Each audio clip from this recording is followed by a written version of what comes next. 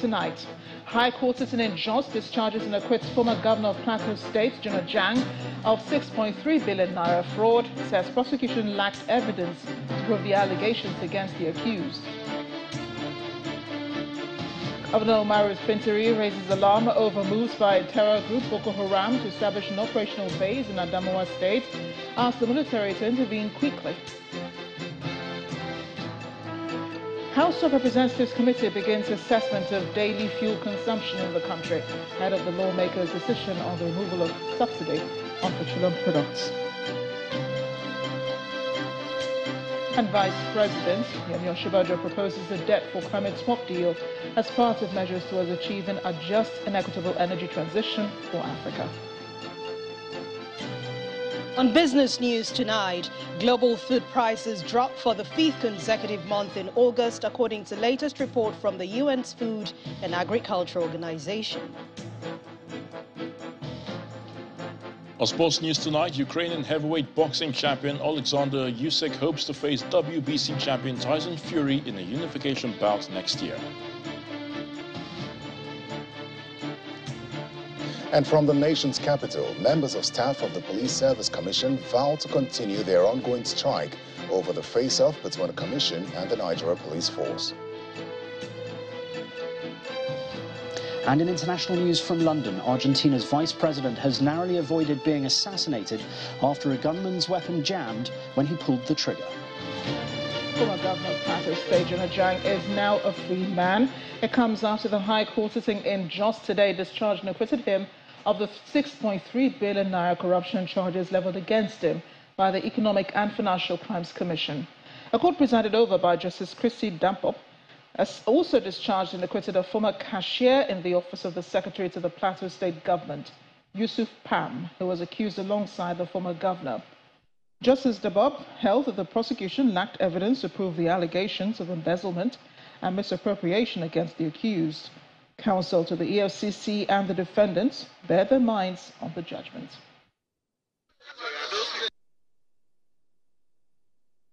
The judge analyzed all the SCP standard, analyzed the testimony of all the 14 witnesses. 98% of these witnesses more or less testified in favor of David Jonah Jang. Each of them said not one kobo was found with him. Not one kobo was found in his account, or found in his wife's account, or found in his office, or found in his children's account, or found in his relations account, or found in any of his bank accounts. The court found this man innocent of all the 17 counts charged. And one would have wondered why was this man being persecuted instead of being prosecuted. But today, justice has been served. This case was initially before Honorable Justice Longji. And um, before that judge, the prosecution called 12 witnesses and closed its case. The defendants then made no case submission. Upon their no case submission, the learned trial judge in that instance ruled that the defendants had a case to answer and the defendants were to enter their defense. But unfortunately, his lordship retired immediately after delivering that ruling. Now the case was uh, brought before a new judge. The prosecution called 14 witnesses and tendered even more documents than the ones that were tendered before the former judge. This time around, the defendants surprisingly rested their case on that of the prosecution. So, but now the judge has ruled that yes, in respect of the whole 17 counts, none of the counts was established beyond reasonable doubt. In the meantime, the EFCC says in a statement it has initiated a process uh, of appeal to appeal the judgment. Well, still in Plateau State, the National and State Assembly Election Petitions Tribunal has nullified the election of Honorable Musa Avia Aga of the People's Democratic Party as a member of the House of Representatives. A court held that Honorable Aga was not validly nominated by the PDP for by-election conducted on February 26, 2022, and did not score the highest valid votes for the by-election. The court also declared Mohammed Goni of the People's Redemption Party, who came in second, as winner of the election. Meanwhile, in Kogi State, the Federal High Court sitting in Lokoja has dismissed the suit filed against the candidature of Natasha Akpoti-Uduaghan for the Kogi Central Senatorial District under the platform of the People's Democratic Party. A court presided over by Justice Peter Malong upheld the preliminary objection filed and argued by Senior Advocates of Nigeria, Johnson Usman, on behalf of Akpoti-Uduaghan, that the suit was incompetent in the originating summons filed by Adamu Atta, the plaintiff alleged that Akpoti Uduaghan did not win the primary election of the PDP and therefore her nomination should be nullified. In opposing the suit, Usman filed a preliminary objection arguing that the originating summons is not endorsed as required by law, therefore incurable incompetence and deprive the court of its jurisdiction. In its judgment, the court agreed with Usman that the suit was improperly commenced and the court lacks jurisdiction to hear an incompetent suit.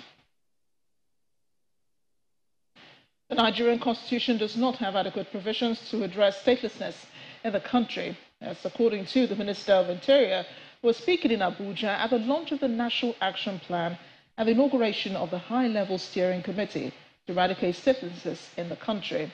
With the launch of the action plan, Nigeria has been added to the list of nine countries with national plans to address the issue and assure those affected by and vulnerable to the adverse effects of statelessness get the justice they need. Our correspondent, Kayla Megwa, has more.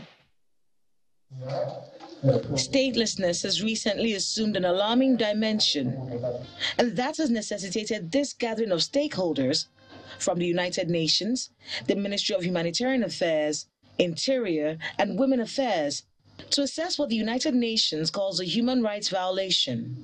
It is estimated that at least 4.3 million persons around the world are denied a nationality. As a result, they are often, as we heard the Director of Citizenship mention, they are often not allowed or able to enroll uh, or go to school, to see a doctor, get a job, open a bank account, own a SIM card, and all these require identification. In international law, a stateless person is a person not considered as a national by any state under the operation of its law. As of 2018, the United Nations revealed there are 12 million stateless people in the world. The Minister of Humanitarian Affairs highlights some of the actionable steps in Nigeria's action plan to handle this problem. Publish a qualitative study for to scale up essence issuance of birth registration and five to undertake laws, law reforms on registration of children born on Nigerian territory. The Minister of Interior highlights a few of the areas where the Nigerian constitution did not cater to victims of statelessness. A child that's abandoned at birth, whose parentage cannot be determined, is stateless by Nigerian law. Chapter 3, Section 26, Subsection 1 to 2 is this constitutional provision ignores the grant of Nigerian citizenship to foreign men or husband of Nigerian women in the same manner. To quit the female foreigners married to Nigerian man or husband is project can be further from discrimination. Representatives of the government that are here, please quickly. As stated by many of the participants in today's event, statelessness in Nigeria is mainly caused by lapses, especially considering the fact that Nigeria's constitution has no provision for statelessness. And that's the reason why this committee has been set up, to address these gaps that have been caused by these lapses and to help all those who are falling through the cracks caused by this problem. Kayla Megwa, Channels Television News. To the fight against insurgency in Adamawa State, Governor Umaru Fintiri is raising the alarm that the terror group Boko Haram is planning to regroup and establish a base for its operations in the state. The governor made the disclosure when he received the newly deployed brigade commander, 23rd Armored Brigade, Brigadier General Muhammad Gambo, in his office in Yola, the Adamawa state capital. He says intelligence reports reveal the two locations where the terrorists intend to set up their operational base are in Hong and Maiha local government areas of the state. Boko Haram are trying to establish about two cells within the state, and the local government of Maiha and that of uh, Hong and, and, and Gombe. And I'm happy and glad to have hear from you directly that immediately you have swung into action and you have visited uh, these uh, areas under your command. And I also believe definitely you must have done something concrete to ensure that these cells are dismantled and uh, uh, ensure also that uh, it doesn't go beyond what they have started. Yes, I'm not saying that they are there already, but all of us know that there are indications that they are trying to establish their cells in, in, in, in A lot of effort have been done within the last one to ensure that uh, uh, we dismantle them and uh, we are monitoring them. And we will ensure also government put all uh, uh, effort to ensure that we support all the security agencies to, to make our people stay to their high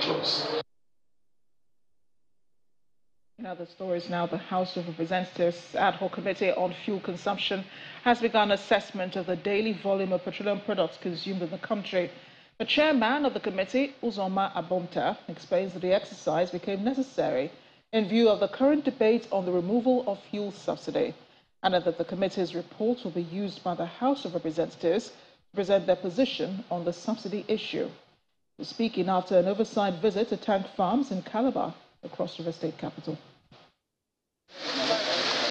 Well, this is a special house ad hoc committee on um, trying to find out the volume of products being consumed in the country. Well, we're here in search of or trying to discover, to find out, to ascertain the product consumption uh, daily and so on for the house to use as an indicator to calculate other issues.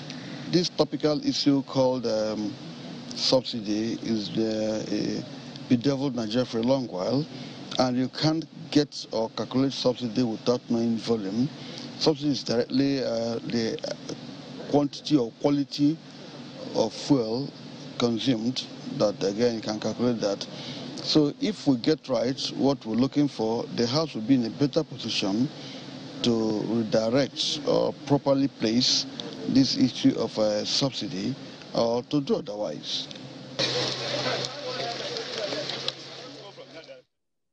Outside the country now, as part of measures to advance the global net zero emissions targets and facilitate energy access for African countries, the Vice President, Yemi Osinbajo, is proposing a debt for climate swap deal. In a statement by his media uh, aide, the Vice President made the call during a lecture on a just and equitable energy transition for Africa at the Center for Global Development in Washington, D.C. A debt for climate swap is one in which bilateral or multilateral debts are forgiven by creditors in exchange for commitments by the debtor to use the outstanding debt service payments for national climate action programs. The Vice President believes that the deal would increase the fiscal space for climate related investments and reduce the debt burden for participating developing countries. Professor Osinbajo has been in the U.S. since Wednesday, accompanied by members of Nigeria's Energy Transition Implementation Working Group to seek global partnerships and support for Nigeria's recently launched Energy Transition Plan. Nigeria needs $410 billion to deliver the transition plan by 2060. In part two, after the break, ahead of the 2023 general elections, the International Republican Institute moves to equip female candidates with the knowledge to enable them to prosecute their electoral agenda. That's in a moment. To join us again.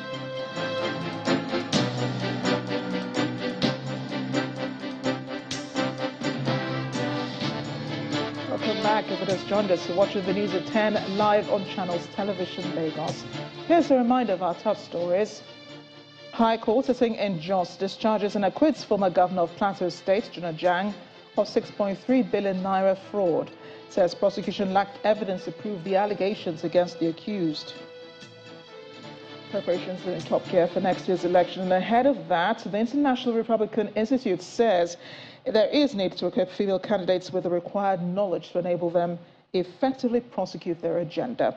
To address this, the IRI, in partnership with Women's Democracy Network, has met with female candidates under the People's Democratic Party in Abuja. Issues deliberated upon border on campaign management, overcoming the barriers of women's political representation, campaign policy planning, and efficient use of the various media platform to publicize their campaigns.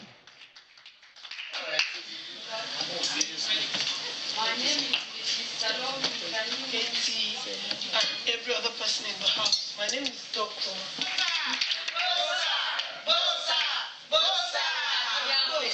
With respect to women, you are all leaders in your own right, working to uh, achieve robust and resilient democracy.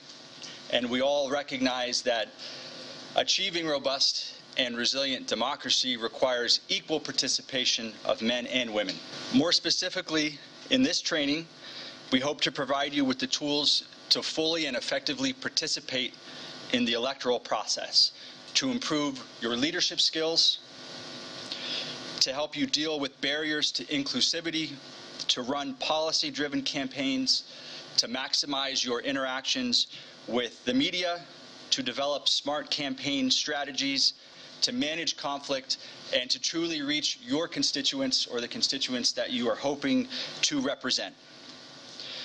Finally, I will say that, as you all know, Nigeria is at a critical moment in history. There are great opportunities ahead of us. There are also great risks. Our mission here is to support the people, the society, and the government of Nigeria in deepening democracy and achieving good governance. And that's important because it not only affects Nigerians and Nigeria, but will have impacts far beyond Nigeria's borders. You have a critical role to play in this effort, not just in breaking barriers uh, to political inclusion, but also in improving the professionalism of the entire process. In the meantime, expectations are high on measures to be taken to make the forthcoming 2023 polls credible. A part of them is the Electoral Offences Commission bill currently before the National Assembly, a legislation being proposed to tackle the menace of vote trading, among others. In view of this, civil society organizations have been calling for a speedy passage of the bill. In this next report, our correspondent, Benga Shuru, examines the different inherent the dangers inherent in vote trading in the run up to the general elections next year. As Nigeria heads to the 2023 general elections with barely seven months to go, at a glance, the course seems clear as the president remains upbeat in his promise to deliver a credible poll. But on second thought, the Ekiti and Osun elections have left some strong reminder of some major landmines as the nation pedal the streams of another political transition. And this is the issue of vote trading.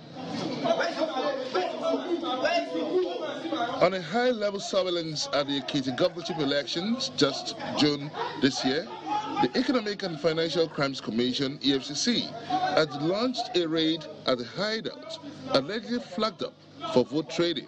While this is under investigation, the civil society organizations continue to raise alarm on the dangers of vote buying as the push for the speedy passage of the Electoral Offences Commission Act. We must compel INEC to gather some of the cases of vote buying that they have already identified and take them through the court system. And we must compel the judiciary to act on an accelerated path. We need to scrutinize that bill. So they don't serve us a legislation that will just remove the burden but it will not be prosecuting the vote buyers and the vote traders. It will not be prosecuting, you know, politicians that recruit talks to disrupt elections uh, and also reduce um, electoral offenses. After securing 60 convictions from 125 cases on electoral offenses, the Independent National Electoral Commission is making a strong case for the establishment of a commission to deal specifically on electoral offenses, which includes vote buying and selling. INEC is saddled with the responsibility of prosecuting electoral offenders under the Electoral Act. This has been very challenging for the Commission. The National Assembly began public hearing on the establishment of the Electoral Offences Commission Bill, but the EFCC is voicing a strong opposition as it maintains the provision for the Act is already covered under the Penal and Criminal Codes, the Independent Corrupt Practices and Other Related Offences Act 2000 and the EFCC Establishment Act of 2004. The public hearing on the Electoral Offences Commission Bill is a fallout of several electoral reforms committees set up by the diff at different times by the government. These committees have made recommendations bordering on financial and administrative independence and unbundling the Independent National Electoral Commission INEC, introducing of electronic voting, establishment of political parties tribunal, and electoral offences commission. Considering the high-level conspiracy in this clandestine act of vote trading, the electoral gatekeepers would have to step up their roles in checking the vote trading monster, which stands between the hope of Nigerians and the mandate of delivering a free and fair elections in 2023 until the Electoral Offences Commission Act is passed. Tackling vote trading seems much of a precarious situation, more like if the hunter has learned to shoot without missing, the bird now representing the vote traders would have to fly without perching. Benga Ashuru reporting for Channels Television News. Let's also over now to my colleague in Abuja, Terry Kumi, for more on the news at 10. Great to see you, Terry. Well, hello, Amarachi. I found that closing really interesting. Well, there seems to be no end in sight to the face-off between the Police Service Commission and the Nigeria Police Force, as the staff of the commission have vowed to continue their ongoing strike. They are protesting what they term the usurpation of the constitutional role of the commission by the Nigeria Police Force. Chairman of the Joint Union Congress of Police Service Commission, Mr. Doyo Augustine, at a news conference in Abuja today, criticized the chairman of the PSC for not defending the roles of the commission. The PSC has been at loggerheads with the police force over issues of recruitment, promotion, and disciplining of erring officers.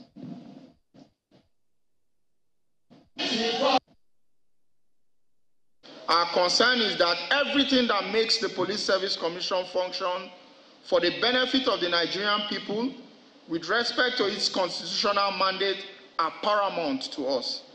The Commission continues to abdicate its responsibilities resulting in complaints of sharp practices and lopsided opportunities in the Nigerian police force, which is supposed to be serviced by the Commission as a constitutional responsibility. It is only the personnel of the Nigerian police force that do not sit for promotion examinations before they are promoted. This is a violation of the public service rules and other extant rules and en- that encourage merit-driven promotion and it must stop henceforth. Yes. Today is the fifth day of our strike action. While we are on strike, we have continued to lobby management to listen to the voice of reason and among other pressing needs, stand up immediately to defend the Constitution of the Federal Republic of, Ni- of Nigeria Anything short of this will leave us no choice but to use all lawful instruments. We shall demand for, this, for his resignation to pave way for a competent and law-abiding citizen whose leadership would respect the letters and spirit of the Constitution of the Federal Republic of Nigeria.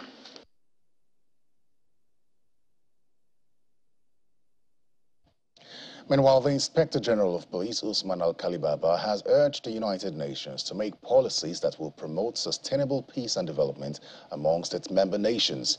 Mr. Babas, Mr. Alkali Baba is also asking the global body to continuously render necessary assistance towards improving policing systems across the globe. He stated this as he joined his counterparts from other parts of the world at the third United Nations Chiefs of Police Summit in the United States of America. After addressing the summit, the IGP later met with the Under-Secretary General, Department of Peace Operations at the UN headquarters, Mr. Jean-Pierre Lacroix, and UN Deputy Secretary General Amina Mohammed. The IGP is later scheduled to meet with the Director of International Narcotics and Law Enforcement Agency, a United States agency that has been supportive in the training and capacity building programs of the Nigeria Police Force.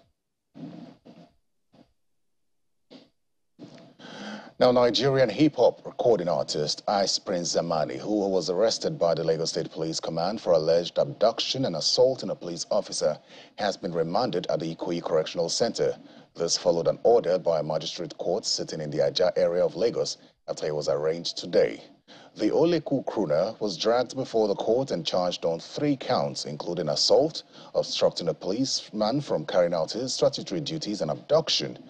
When the counts were read to him, the defendant pleaded not guilty. Magistrate Taiwo Yaniyi subsequently granted him bail in the sum of 500,000 naira, and he is also to furnish the court with two responsible sureties. Pending when he meets the bail conditions, the magistrate ordered his, rem remand and adjourned further proceedings in the case till September the 7th, 2022. The police say there is video evidence which shows what transpired between them and which will be presented in court. Now, when the news at 10 returns, global food prices dropped for the fifth consecutive month in August, according to latest report from the UN's Food and Agriculture Organization. Please stay with us. Welcome back to at 10. Now, after five weeks of intense audition, the Niger Delta talent hunt has been concluded with 21-year-old Elvis Luna emerging the winner of the first edition of the show put together by the Niger Delta Development Commission, NDDC. The initiative was flagged off by the NDDC Interim Administrator Effiong Akwa on July 20, 2022, with the aim of discovering fresh talent in the Niger Delta for the entertainment industry.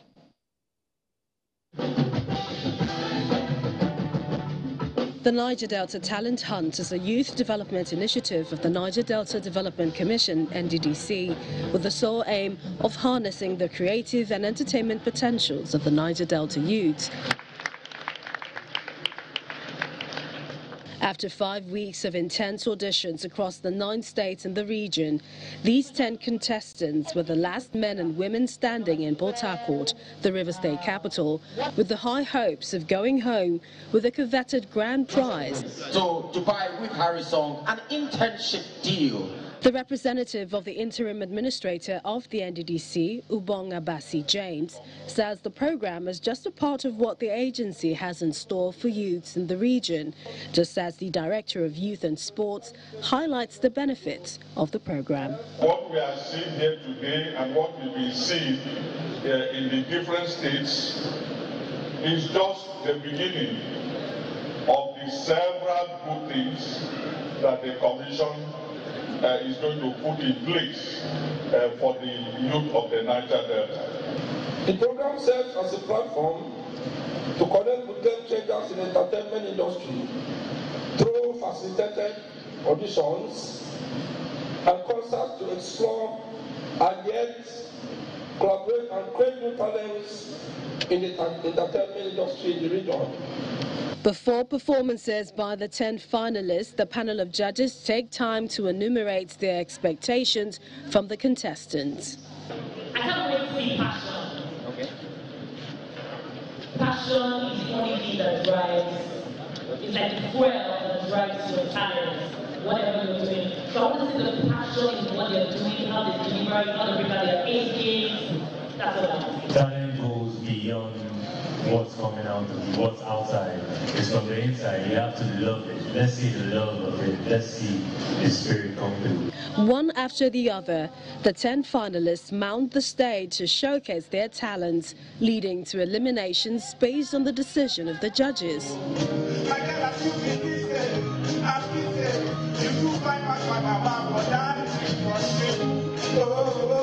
Next, this 21-year-old singer, Elvis Luna, is announced winner of the talent hunt, much to the delight of the audience.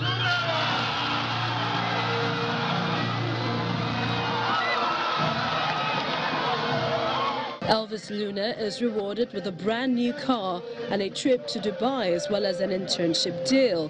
First of all, I didn't want to come for this competition, but the pressure of my family members and everybody put on my, my friends, I, I just had to do it and I'm really grateful for everything. For each and every one of you that supported, thank you so much. I'm, I'm excited, I'm very excited. While the first runner-up, Ms. Honest Amasumawe, a comedian, goes home with 2 million naira just as the second runner-up, Ms. Precious Ogesoba, a singer, gets 1 million naira cash reward.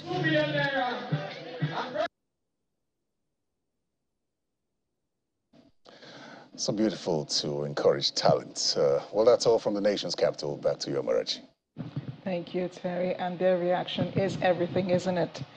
Well, back in Lagos, the traffic situation along the Berger Kara Opi corridor on the Lagos Ibadan Expressway may get more challenging, with more repair works scheduled to start tomorrow. Repairs are to replace three expansion joints on the Ibadan bound lane of the Kara Bridge section of the highway to prevent accidents uh, and damages to vehicles. Now, according to the acting federal controller of works in Lagos State, Mrs. Foroshola Oloyede, work is in furtherance uh, to the ongoing reconstruction of the Berger Opic axis of the highway. East commuting traffic will be diverted to the inbound lane on the Kara Bridge for the period the repair works would last. The Lagos State Traffic Management Authority, LASMA, will collaborate with the federal government, with the Federal Road Safety Corps and Ogun State Traffic Compliance and Enforcement Corps to manage traffic during the period.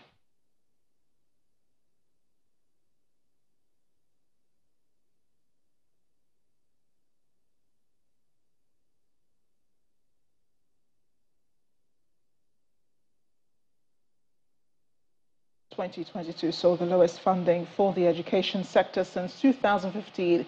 In addition to insecurity, primary education in Nigeria is under enormous strain. In continuation of our series on the state of primary education in the country, this next report looks at its funding in Nigeria's north central states and how this is impacting enrollment in the region. Out of school children in Nigeria rose from 10.5 million in 2021 to 18.5 million in 2022.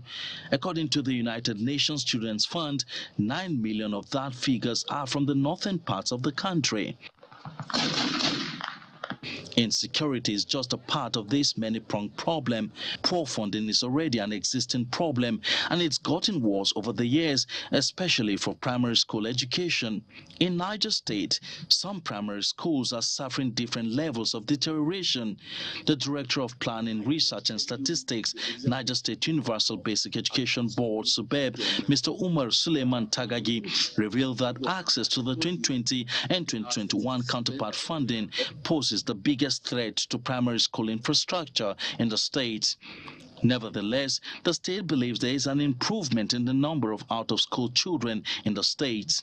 If they provided counterpart now, the UBEC will now release its own part to make it. And if they can release this two years uh, matching grant, you see that we have volume of works again to be carried out in the state, which the gap you are seeing will, will be reduced drastically. The Kwara state government claims it spent 14.2 billion naira on the construction and renovation of primary schools in the state in the past three years to reduce the number of out-of-school children in the state. When we came in in 2019, one of the letters on my table was a letter from WAEC uh, telling us to pay 30 million naira or else um, we wouldn't be able to take the blacklist us just like UBEC did. We promptly paid that paying salaries and trying to run a government capital project, it was something that is a big challenge. The Benue state government has invested over 21.5 billion naira in a joint counterpart funding of basic education across the 23 local government areas, in which it contributed over 10.7 billion naira to reconstruct and rebuild over 2,000 public schools. I think we can beat our chest that the state has done very well as, found, as far as assessing counterpart funding made available by uh, UBEC is concerned. We are right now working to assess the current 2022 um, counterpart funding that is available. The International Center for Investigative Reporting reports that funding in the education sector has dropped from 7.92% in 2016 to 4.3% in 2022, the lowest allocation since 2015. However, the Kogi state government says building infrastructure to create a conducive environment for teaching and learning in the state is a priority. As a matter of fact, we have two years fund waiting for UBEC now to credit us. His Excellency have made provisions of the money. It's in the account. UBEC, come and do the needs. I said, come and do what you need to do. We are just through 2021 now. And of course, maybe in the next two weeks, you will see activities commencing again in the state. Despite these claims by state governments in Nigeria's north central, in addition to multiple attacks on schools by bandits in recent times in the region, funding for primary education is at its lowest since 2015, while out-of-school children in northern Nigeria accounts for 69% of Nigeria's out-of-school children. For Nigeria to meet SDG 4, which is to ensure inclusive and equitable quality education and promote lifelong learning opportunities for all by 2030, it must increase its budget for the education sector from 4.3% it allocated in 2022 to 20%. Mamador, a range of quality products that helps consumers explore great tasting and nourishing meals, has concluded the third edition of its women's meeting in Lagos. The early August meeting received entries from women across the country, with six entrepreneurs being chosen and rewarded with a total of 1 million naira. Speaking at the event, the head of marketing, PZ Wilmar Chioma Mbanugo, explains that the meeting is a wake-up call for women to step into a world of endless possibilities. Over the years, Mamador, a premium brand of PZ Wilmar, has made strong contributions to the Nigerian society, championing women's causes and supporting the initiative for an August meeting for women from the eastern region. In the era of COVID-19, the initiative transformed to virtual meeting, then went hybrid in 2021.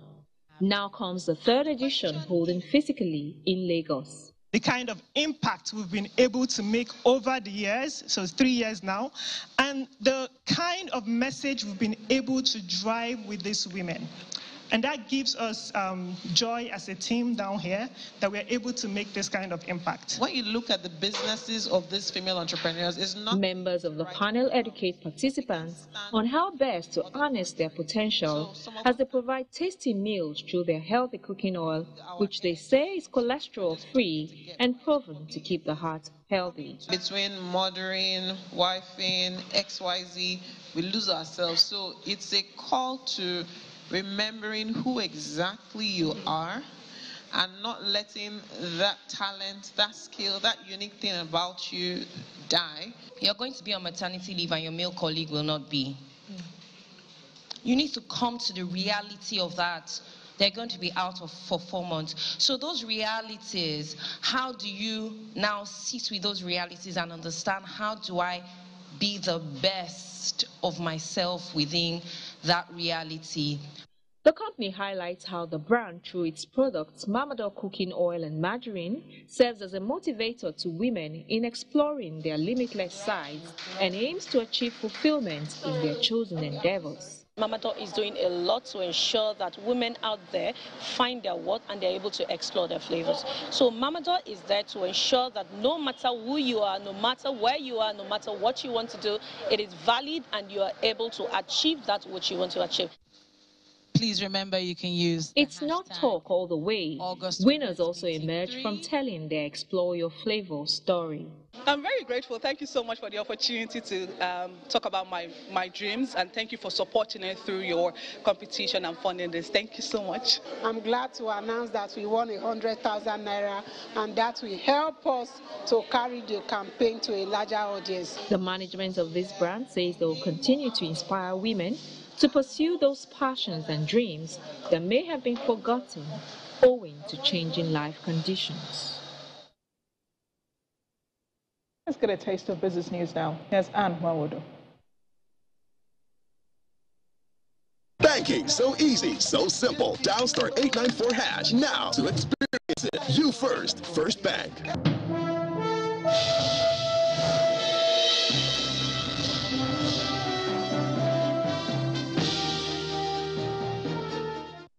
Thank you, Amarachi. Hello and welcome to Business News. The United Nations Global Food Prices Index has fallen for the fifth month in a row with a sign that one of the main pressures pushing up the cost of living around the world could ease.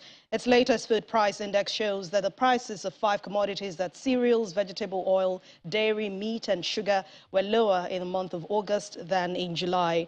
In July this year, a landmark agreement to unblock Ukraine grain exports amid the ongoing war was signed by the country, Russia, Turkey and the United Nations. And Africa's leading rating agency, GCR, has upgraded the short-term and long-term issuer ratings for Lagos State's program 3 Series 2, Series 3, and Series 4 senior unsecured bond issuances to A1 Plus and AA, and that's according to a stable outlook. In a statement released today, the ratings agency says the upgrade is a result of a generation and diversified internal economy, which has now supported robust growth in internally generated revenue. Meanwhile, the GCR has hinged its stable outlook for the state on expectations of continued robust revenue growth and sound expenditure management despite anticipated rise in debt level. The Minister of Agriculture and Rural Development, Dr. Mohamed Abubakar, is expressing optimism that the ban on Nigeria's agricultural commodities by the European Union and the United States of America will be lifted very soon. At the briefing by the Standing Interministerial Technical Committee on Agro Zero Reject Initiative in Abuja, Mr. Abubakar says the current effort being made by the federal government is to ensure Nigerian agricultural produce is accepted in the international market. We head to the market now where it ended the week in the green, nearly 200 billion naira. That's the amount gained by investors within three days. Will Ibong tells us more.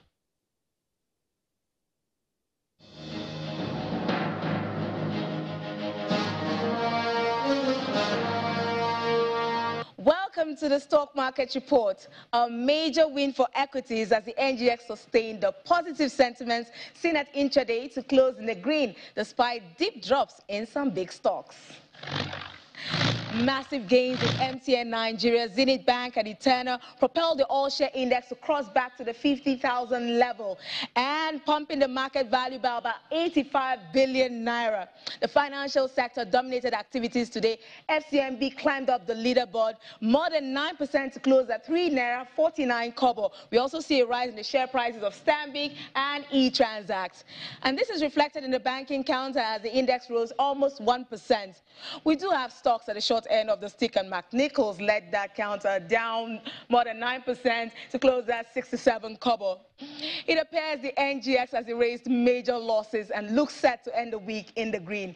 And that's the stock market report. I'm Will Ibang. Back to you.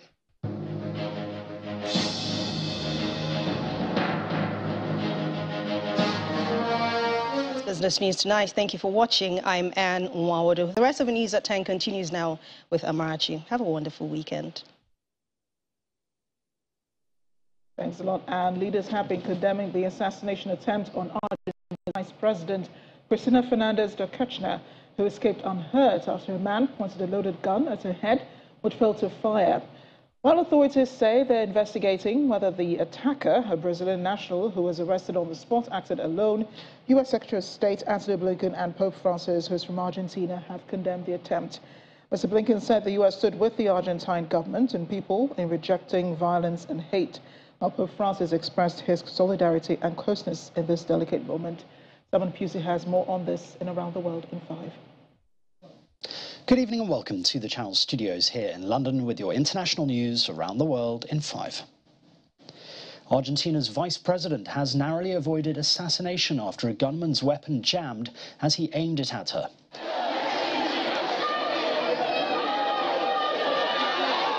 Footage shows the moment Cristina Fernandez de Kirchner, surrounded by a mob of supporters, found herself face to face with the loaded weapon. Police said the gunman, who local media identified as a 35-year-old Brazilian man, has been taken into custody. They are attempting to establish a motive for the attack on the left-leaning politician, who was Argentina's president from 2007 to 2015 and its first lady for four years before that. Poco después de las 21 horas. President Alberto Fernandez revealed the gun was loaded with five bullets, but failed to fire when triggered. In a TV address to the nation, he said, This is the most serious event we have gone through since Argentina returned to democracy. A military-run court in Myanmar has sentenced Aung San Suu Kyi to a further three years in prison on election fraud charges. Ms. Suu Kyi, the country's former leader, has now been sentenced to 20 years in prison on 11 counts, with several charges remaining. She denies all of the accusations, and the trials have been condemned by rights groups as politically motivated. If convicted on all charges, she could face almost 200 years in prison. The 77-year-old Nobel laureate has spent most of her time in detention under house arrest in the capital Naypyidaw. South African President Cyril Ramaphosa and US President Joe Biden will hold talks on the 16th of September on a number of issues, including trade and energy. That's according to the White House. It comes weeks after the South African president met US Secretary of State Antony Blinken. A White House statement said the leaders will discuss opportunities to deepen our cooperation on trade and investment, infrastructure, climate and energy, and health. It added that the presidents would also reaffirm the partnerships between their two countries and discuss working together to address regional and global challenges. Salvage teams have rushed to pump fuel off a grounded ship after it collided with a gas tanker off Gibraltar and began leaking fuel oil into the sea. Authorities said there had been a significant leak from the OS-35 on Thursday, and booms were deployed in an attempt to stop the oil spreading. By Friday morning, the British Overseas Territory said 80% of the ship's diesel fuel had been removed. The Chief Minister described the next 48 hours as crucial. A debate in the Liechtenstein parliament on the subject of earthquake insurance had to be suspended because of an earthquake. Bettina Petzold-Mähr initially laughs off the first tremor.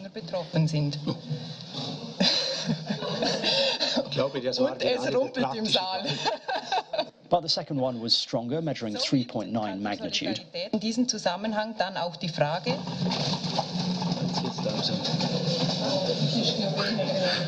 forcing the Speaker of the Chamber to pause proceedings. Das wird langsam heftig. Ich glaube, man weiß ja nie wegen Nachbeben. Wir, wir machen mal eine Viertelstunde Pause. Extinction Rebellion supporters have entered the House of Commons debating chamber and superglued themselves around the Speaker's chair. We are in crisis, and what goes on in this room every single day makes a joke out of all of us. Video and photos posted on social media by the group show five people inside the chamber holding banners reading Let the People Decide and Citizens Assembly Now. The House was not in session at the time. The group also hung a large banner bearing the same words from scaffolding on the estate. Britain's House of Commons said it was dealing with the incident as a matter of urgency. And finally, a two-headed tortoise called Janus will celebrate his 25th birthday this weekend, making him the world's oldest bicephalic tortoise. To keep him on form, carers feed him organic salad and give him daily massages and baths in green tea and chamomile. Janus, who has two heads, two hearts and two sets of lungs, but only one digestive system, is under constant surveillance in case he flips over. A two-headed tortoise would not ordinarily survive long in the wild, since it cannot retract its heads into its shell to seek seek shelter from predators. And that's your international news around the world in five. Now back to the channel studios in Lagos. Forces is next. Here's Ayotunde Balogun.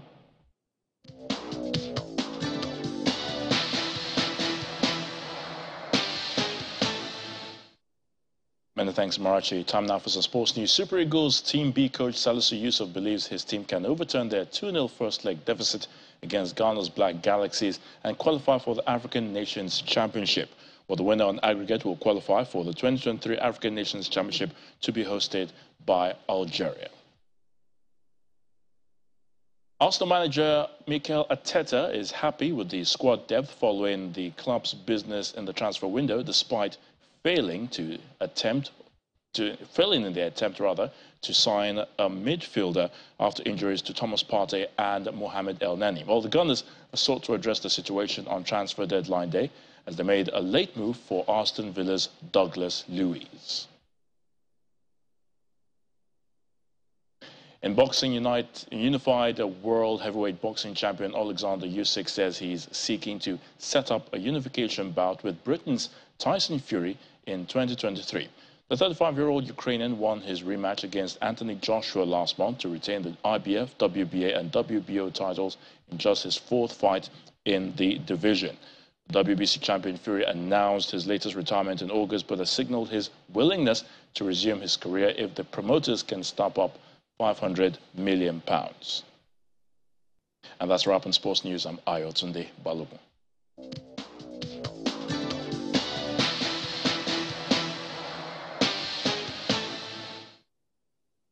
Thanks a lot, Ayotunde. And the main news again. The Federal High Court sitting in Jos today discharged and acquitted the former governor of Plateau State, Jonah Jang, of 6.3 billion naira corruption charges. The court said the prosecution lacked evidence to prove the allegations against the accused. That is the news at 10 tonight. Thanks for watching. I'm Amarachi Ubani. Good night and enjoy the weekend.